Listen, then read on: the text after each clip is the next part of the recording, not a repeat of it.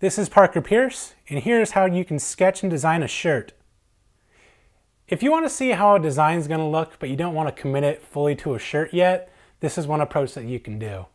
Open a new document in Photoshop. Set the background color to a neutral color, such as gray or brown. Make a new layer and draw one half of a shirt outline. Delete the uneven ends.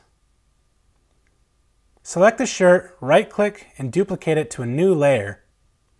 Right-click again to free transform it, and a third right-click will let you flip it horizontally.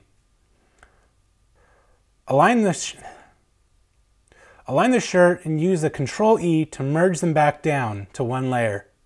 After resizing the shirt and cleaning up the lines, use the Magic Wand tool to select the outside.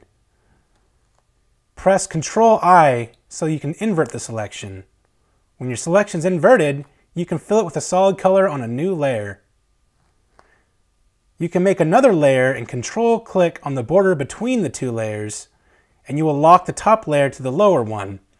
This means all marks will not stray outside of the base, and in this case, the shirt. When you're set up, go ahead and draw whatever you'd like on the shirt and have fun.